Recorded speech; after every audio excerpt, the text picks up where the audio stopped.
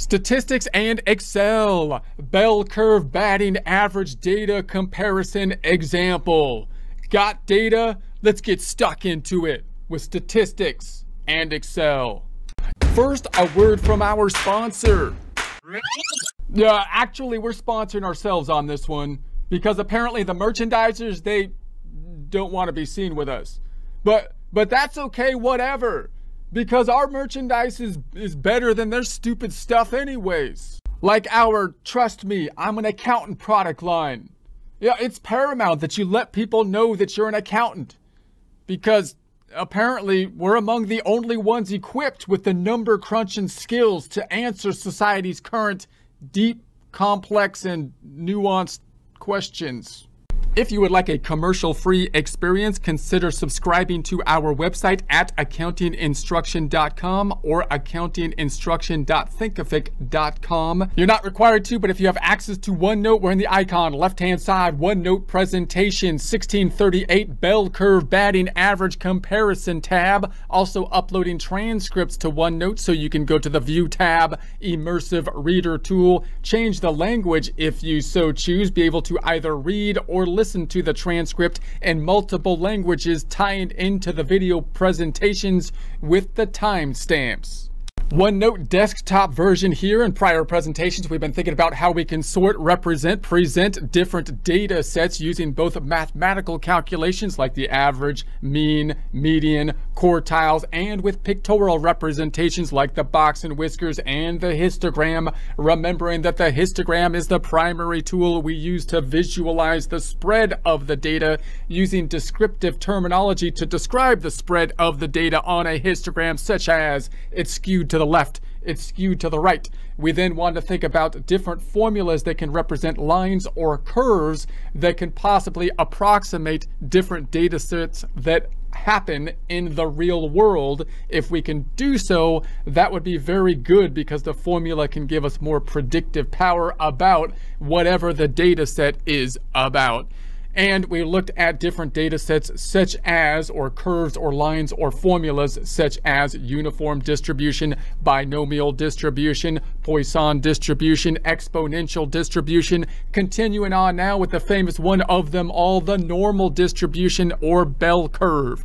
We're now going to be applying it to the batting average scenario, what's going to be different from this presentation than some that we have seen in the past is one, we're talking about something that's kind of similar to a job setting type of situation. Oftentimes, any type of job that you are in, when you're measuring performance, you're going to have to use some type of statistical analysis. And when you're looking at sports, obviously, we're basically judging the performance of the players and their particular job. You can apply the same concepts to other jobs as well.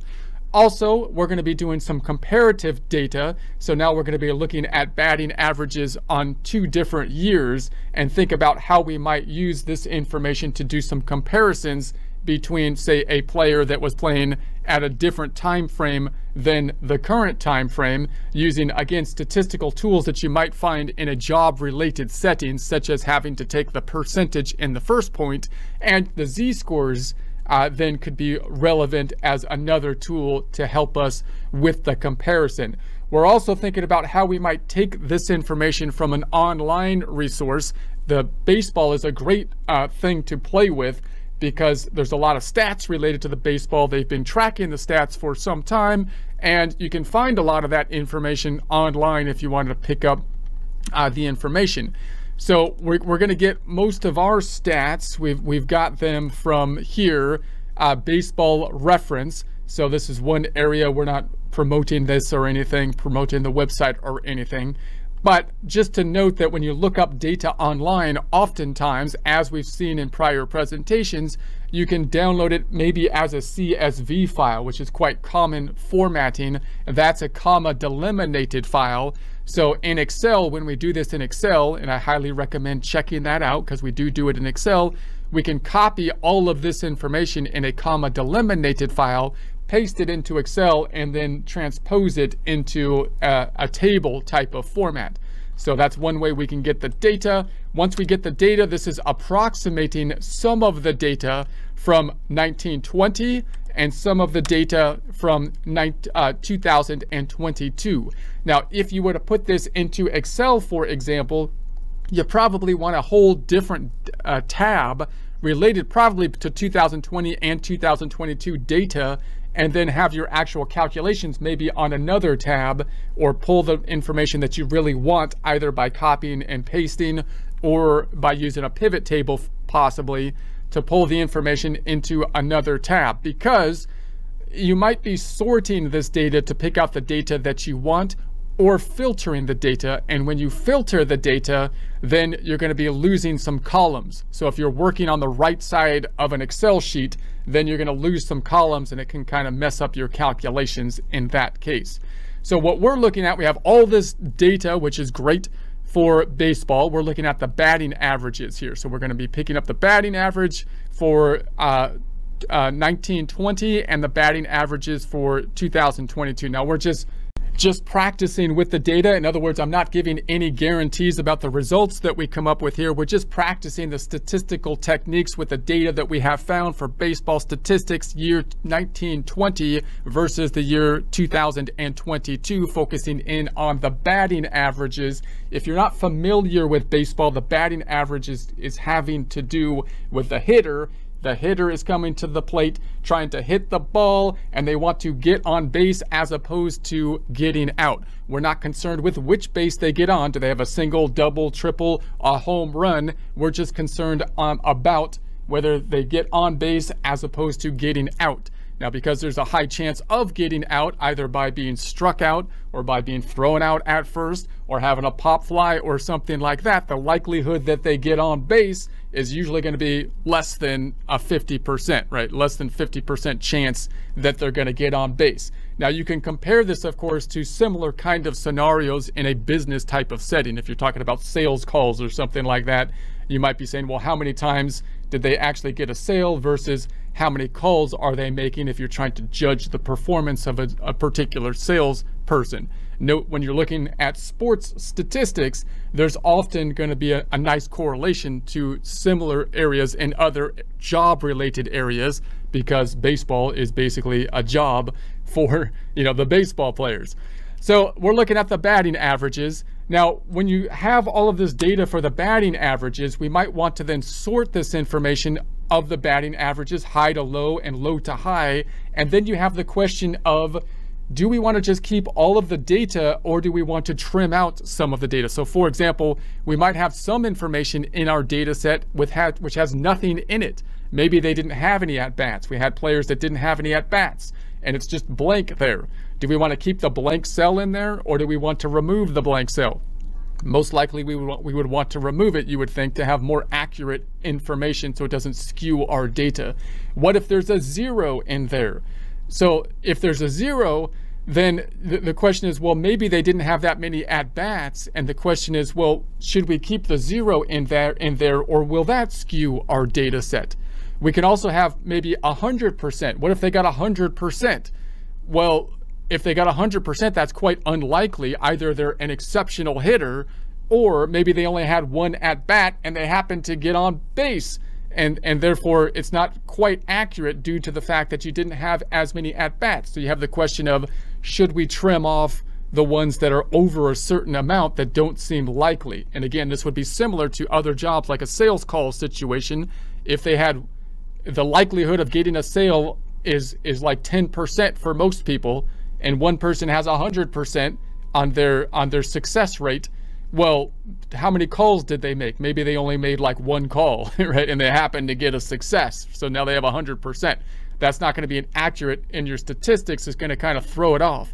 So possibly in this case as with the sales calls you might say i'm only going to count it if you had so many at bats or above uh, and then I'll pick up the number. Otherwise, I can get data that's kind of skewed. So in our case, I trimmed off the zeros and I trimmed off some of the high points, which might not be exactly how you might want to do it. If you got really technical about it, you might look at the at-bats, for example, or use other methods. But it might be common for us to take our raw data and do some type of analysis so that we can we can uh, take the, the the the numbers that aren't representative out of the sample in some way. Uh, that's the general idea. Now then, I, then I took our information For the two years, this is the 1920 information. This is the batting that's represented in a percentage. Now, if you're talking about batting averages, you're trying to see how, how often they got on base versus the total times that they had at bat. It's a ratio or percent, which can be represented as a decimal or as a percent typically. Uh, so, but when we do our analysis for the for a normal bell curve distribution, sometimes it's useful to represent it as a whole number. At, same thing we did with our test score example. If you if you watched that one, test scores for grades are actually are usually in the format of percentages or decimals. But if we can also say I got a 70, I got a 70, right? Which which means 70% or 0.7 of the total. But we're going to represent it at 70. So I'm going to take all of our information, multiply it times 100, so that when I do the norm dot dist calculation, the percentages will add up. Uh, add up. So that's going to be our adjustment. We did that for the batting averages of 1920, and then I did the same thing for uh, 2022. So here's our data now represented in whole numbers, representing then this this number represents that this person got on base 75% of the time, 66% of the time. This is probably a high number. They might not have had that many at bats. That might have been something that I should have trimmed off here. These numbers look more reasonable.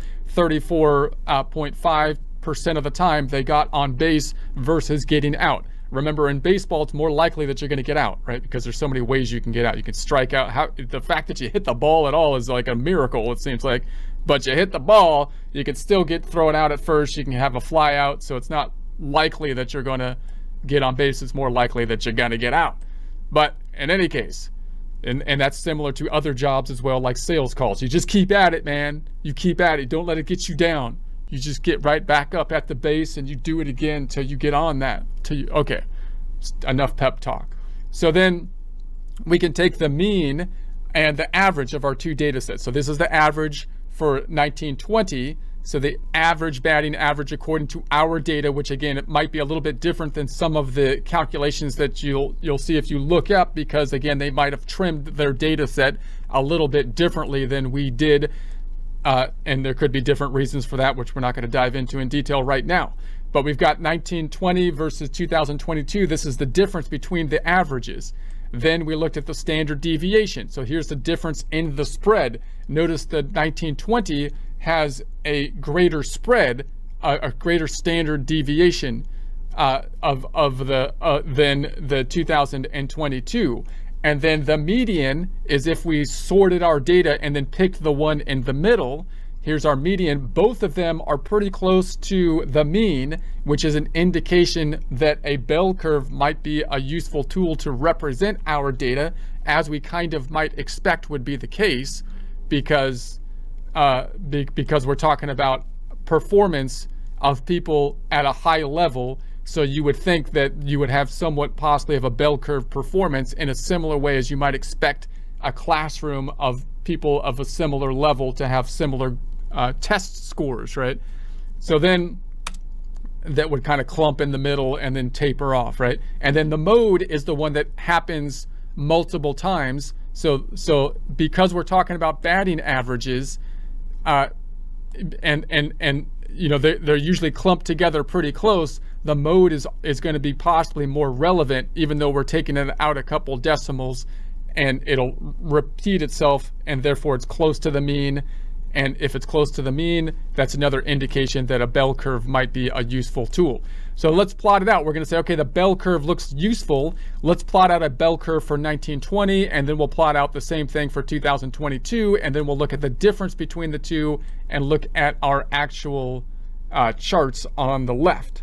Now, before we do that, the 19, if I was to take a histogram of the 1920 data, and we made it we just took the data and made a histogram from it. The buckets that excel comes up with i let it just make the buckets 4.3 to 7.3 uh, 7.3 to 10 and so on and so forth.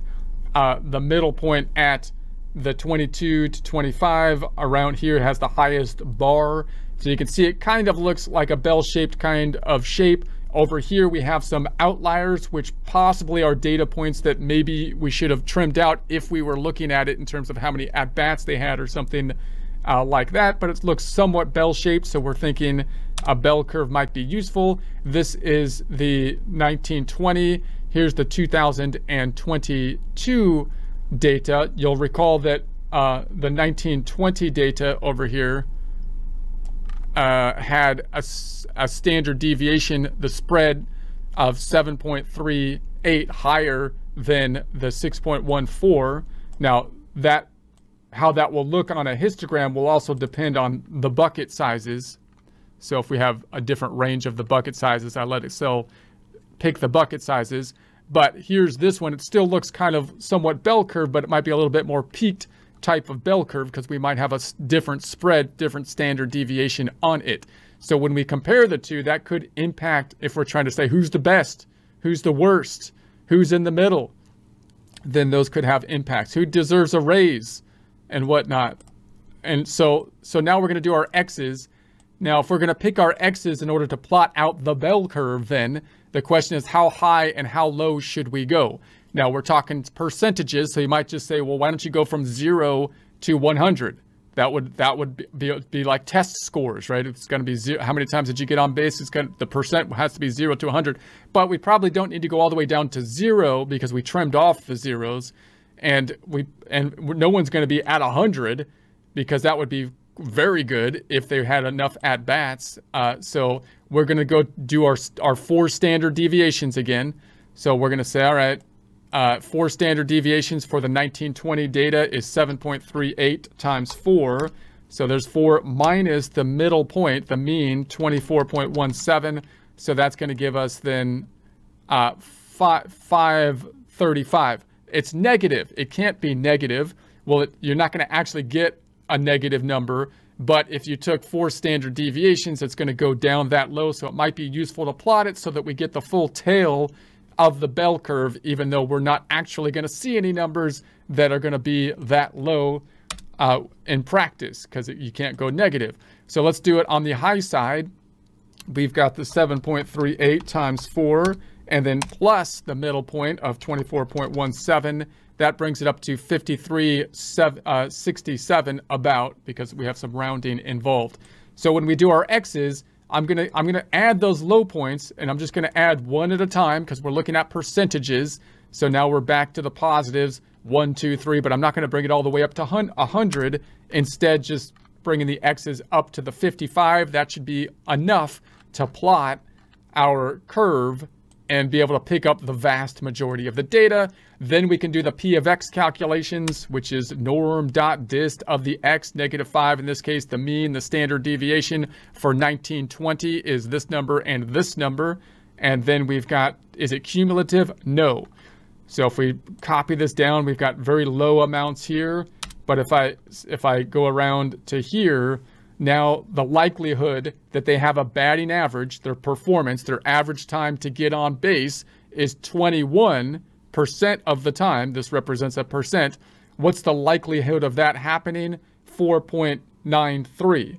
Now, the questions that we'll often ask when measuring job performance is going to be what's the likelihood that they get on base 21 times, uh, 21% of the times or above, or between 21% of the time they get on base and uh, 30% of the time. Those are the kind of questions uh, that we would ask, which means you could sum these up. That would only give you an approximation, though, because we're talking about the area under the curve, and you could use the, the norm dot dist subtraction calculation. Then we have the z-score. Now, the z-score could be quite useful because remember that if I'm trying to compare two hitters, that had different numbers of at bats, like or similar to if I'm trying to compare two salespeople who had different number of sales calls, then how do I compare those two?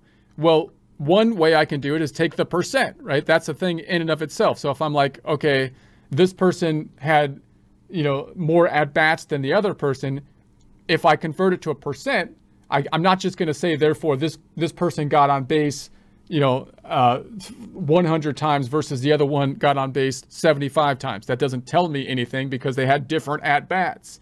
But if I give the percent of times they had they got on base, that could be a relevant number, useful. But if I compare this from one year to another, 1920 to to 2020, then I might want further verification of how well they are doing in relation to the year that they are in, given the fact that the circumstances are different, represented in the data by the fact that you have a different mean as well as a different spread of the data. That's where the z-score could be useful. So the z-score, you'll recall, is calculated as we're going to take this uh, this data point. Let's take a positive data point so it doesn't look silly. I don't like looking silly. I do it all the time, but not on purpose. Let's go down here. Uh, let's pick up like this one, like a 30, 31. So the z-score is going to be then this 31, 31 minus the mean, minus the mean of, in this case, 24.17 divided by the standard deviation, which is 7.38. And that gives us about the 9, the 0.93. So this is above the zero, therefore it's on the high side. So the zero is the is the middle point for the z-scores. So remember, with batting, of course, in performance, when we're talking about weights and heights, then you kind of want to be at zero because that means you're normal. you're not sick, right? You're not you don't have you're not like way overweight or way underweight. But when you're talking about hitting, of course, you want to be as far high of the norm as possible. You're above normal would be what we're looking for up here. And if it's positive, that means that we're above the norm on the z-scores. All right. So then we have the frequency. So we can take our data over here and compare it to our actual data. This is the this is the curve. Our actual data is over here. So now we want to take the frequency of that data, which is just saying, let's bring it down here. So we have some results. So this is saying that some someone got above 8%, but below or up to and including the 9%. How many times did that happen in our data set? Three times. So if I bring it down to here, we're saying how many times did someone have above 18% getting on base up to and including 19%? How many times did that happen in our data set? 17 times. So this 17, I can't really compare to my actual bell curve very easily, this result that we got from norm.dist, unless I multiply times the number of results that I have. So in other words, if I look at the count that we did, did I do the count over here? Let's see, I didn't do I didn't do the count. But if I if I add this up, the actual counts of samples we have is 629. And if I multiply that times times what we got from the norm.dist, which is 0.0423, we, then we can make a comparison.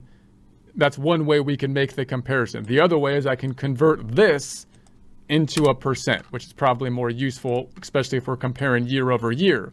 So I can look at this side and say, all right, I'm going to take, for example, this 16 and divide it by the total. 16 over the total count divided by the 629 gives us, if we multiply it times 100, the 2.54.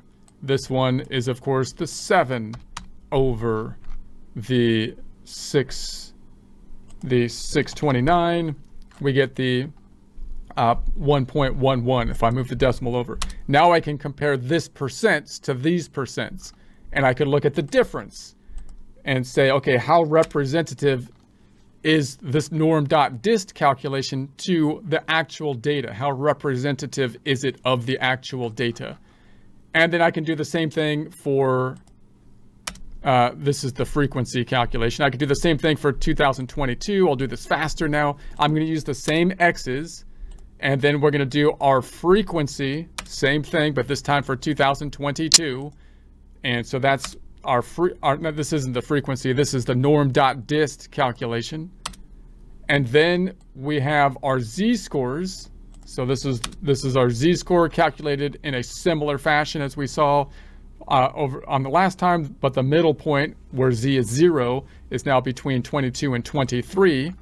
And then we've got the frequency. This is the number of times that are actual data populated, in this case, between or above 9% up to and including 10%, 10 times. And this represent our actual data divided by the total so that we can now compare our percentage actual data versus what we got with the norm.dist. And then this is the difference between uh, the, the norm.dist information and the percent of the actual data so we can kind of get an idea of how close we were. So once we do that, we can say, okay, well, now I can, I can compare, for example, this is my 1920. P of X is the blue. This is the bell curve that looks like a nice bell and a bar chart. And then the actual data. So you can see the actual data lines up not perfectly to a bell curve, but it looks like it conforms possibly enough that we can use a bell curve to help give us information about this. And also note that if the bell curve doesn't conform to something like baseball, uh, batting averages, it that might give you questions in and of itself because it's like, well, why wouldn't it? Because you would think that you have the top performers there, so you would think that that uh, the performance would follow some kind of bell curve distribution. You would think, unless something weird was happening. Here's here's the 2022 information. It would be like test scores. You know, if you have people of pretty similar levels in a classroom you would kind of expect the outcome to be in a bell-shaped distribution. If it's not, then the question is, well, what is happening here? What, why wouldn't it be, right? That could raise questions in and of itself. So here's the here's the blue, and, and so you can see this one for 2022, we had this kind of more peaked information here. If I plot the two the two uh, P of X for 2020, these are the two ones generated from the bell curve, the even bell curve, not the actual data, you can see that the 2020 is, is middle point is a little to the left and it's a little bit more peaked, representing uh, less spread of the data. Whereas the blue curve is has an average a little bit to the right and you have more variance uh, of the data, more spread of the data that we can that we can see there. Now, when I compare then 1920 to 2022, the question is, well, how am I going to compare, say, an individual hitter that that is in these two years? Because uh, because the fact that that th- their performance is is going to should be compared somewhat to the times and and how difficult it was, whatever conditions were taking place at the times. So first, let's do the difference between the two. We're going to say, all right, this is going to be uh, the difference or just the x's again. This is uh, the p of x differences. So now I can look at the difference between p of x for 1920 versus 2022. We can look at the differences between the z-scores for 1920 and 2022, and we can look at the differences between the actual percent of the total for 2022 and 1920. And then, of course, you can go in and, and start asking questions, and you can look at the z-score is often going to be another factor here when you're comparing two periods because the general idea would be if I'm comparing job performance, batting averages, batting being their job, then I again I could say well they had different at bats, therefore I'm going to look at their percent of success, not the total times they had on base to give me a comparative number. So so a 23% would be would be better. You know, I, I can compare that to someone who had less at bats, and I can use the percent to compare. But if I'm comparing two different years, then I might say, okay, well, if I'm looking at a a uh, let's say let's say I'm looking here at a 24 batting average, 24 percent in 1920, that was actually below the the middle point. They were doing less than the average performance on the z-score, which you can see here with the z-score, and you can also just see because the average would be, you know, the average here was what what we got was uh 2417, right? So they're so they're actually below uh, that just barely. But if I compare that to a hitter in 2022, that 24% is is actually above the average, right? So now, so now I'm going to kind of compare these two, and I could, when I start to compare different people from different time frames, I can say, okay, well, yeah, they both did 24% on base, but the conditions were different in the two time frames. So how do I how do I compare that? Well, that's what again the z-score could be useful because you can say, well, this is what the average person was doing over here. That was actually less than average, whereas over here they're actually outperforming their peers in that time frame, which could lead to all sorts of other questions in terms of well, what happened? Why exactly might that be the case, and so on and so forth, and how does that reflect on the player's skills? uh, pros or cons and so on. So that can open up a whole another nest of questions. But that's uh, one of the general techniques that can come into play. And remember, it comes into play not only possibly with baseball and sports, but any kind of job performance kind of situation. It, you might have a, a, a similar a similar kind of process and the better you understand that whether you're trying to look for a raise or whether you're negotiating a raise with an employee or something like that or what's a fair compensation of one person versus another person or something like that then these are tools that you want to kind of be that you certainly uh, want to be aware of if someone's doing performance reviews and stuff uh, over the work that you're doing and that kind of stuff then you want to be aware of the statistical tools that are being used so that you can see if they're being applied well. The person that's doing this, the statistical analysis has an idea of actually what they're doing and not, and not just going through the motions and that you can, you can analyze the results in a fair and objective way.